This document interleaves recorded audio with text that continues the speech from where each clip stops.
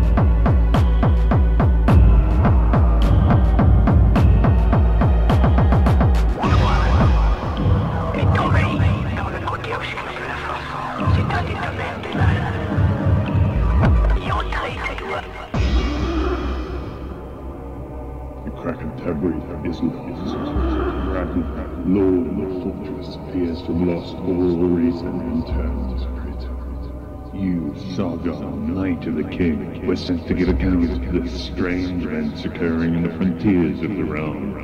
But the worst fears of the Order have come to pass, and war looks imminent. The treachery has preceded you. Now you lie in a gloomy dungeon, your mission a failure, and your men slain. The only hope of recovering your lost honor and saving the realm from its enemies lies in escaping this prison cell and finding people.